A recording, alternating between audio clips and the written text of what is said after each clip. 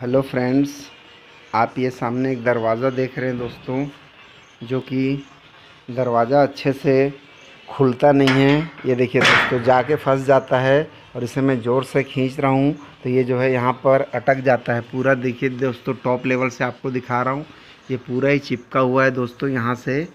ये देखिए दोस्तों, और यहाँ नीचे थोड़ा सा गैप दिख रहा है, बट ये अच्छे से खुलता नहीं है, बहुत प्रॉब्लम होती है। देखिए दोस्तों, मैं खींच रहा हूँ तो उसको। इसको मैं पहले खोल लेता हूँ दोस्तों।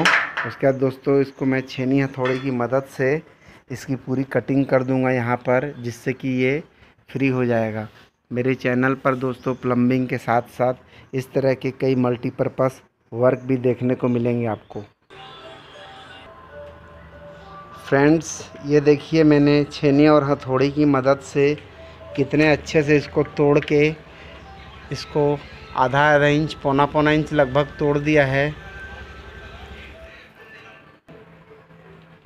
ये देखिए, छेनी हथौड़े की मदद से मैंने इसे किया है दोस्तों, क्योंकि यहाँ पर देखिए, ये पिलर है, बीम जिसे हम बोलते हैं, खड़ा बीम।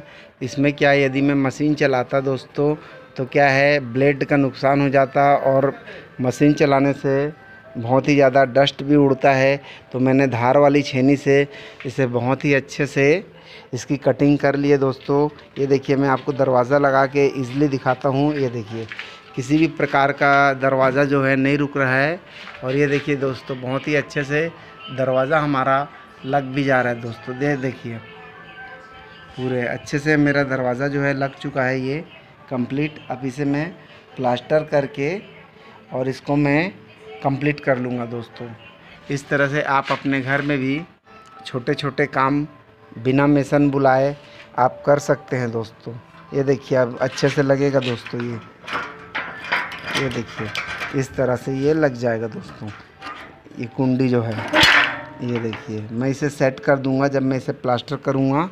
और ये मेरा बहुत बढ़िया से कंप्लीट हो चुका है। थोड़ा सा दिमाग लगाने से कंप्लीट हो चुका है, क्योंकि मैं यदि वेल्डर लाता और वेल्डर इसको कटिंग करके लगाता तो कम से कम 400 से 500 रुपए का चार्ज मुझसे ज़रूर ले लेता। लेकिन यहाँ पर बुज़ुर्ग आदमी रहते हैं और वो मेरे कस्टमर हैं तो मैंने उनसे कहा, अंकल, इस काम को मैं कर सकता हूँ। वो बोले, ठीक है, आप कर दीजिए। और मैंने इस कार्य